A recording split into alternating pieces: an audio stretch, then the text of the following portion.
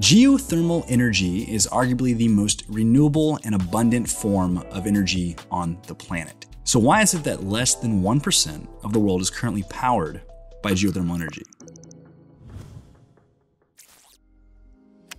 What's going on, guys? Welcome back to the channel. I'm Jay Corley with Digital Wildcatters, and today we are diving into geothermal energy. Geothermal energy is generated by the Earth, but we're not talking about the surface of the Earth, like where we live. We're talking about way down, all the way into the core, where temperatures inside the Earth are literally hotter than the surface of the sun. As long as we're inhabiting this planet, this heat can be used as a renewable resource for utility scale electricity production, heating, and cooling. So, just how much power are we talking about? Well, the heat flowing from the Earth's interior is, by some estimates, capable of generating twice as much power as our entire global energy consumption. So, a lot. But the real beauty of geothermal isn't its power potential. It's actually the fact that it's a truly limitless form of energy and it produces no CO2 emissions. Well, if that's the case, then why aren't we focusing all of our attention on scaling up geothermal energy? Well, for starters, you can't build most geothermal systems just anywhere. The geological ingredients, so to speak, have to be there. Most existing geothermal systems are built in areas where we know the Earth's tectonic plates are pushing up against each other, allowing heat and steam to reach the Earth's surface. So, as much as we would love to accelerate the development of geothermal energy as a whole, the rocks have to be right, and unfortunately, most of the time, that's not the case. But rather than dwelling on current development limitations, let's talk about how geothermal actually works.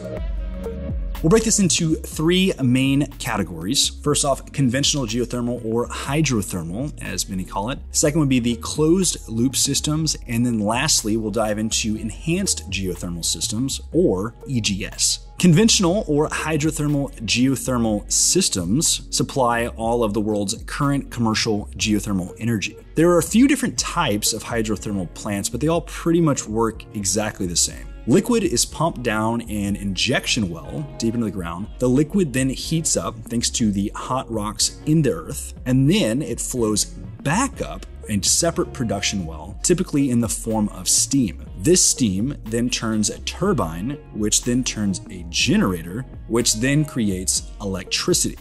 Now, the closed loop geothermal pumps have been used at a relatively small scale for commercial and residential applications. Rather than having a separate injection well and a production well like the hydrothermal and the EGS systems, closed loop systems utilize the constant underground temperatures to serve as a heat sink in the summer and a heat source in the winter. They work by pumping fluid through a system of underground pipes that transfer heat up to the surface to generate power. It's pretty simple. Now, until recently, geothermal power systems have only been able to exploit areas where the right amount of naturally occurring heat, water, and permeability were available.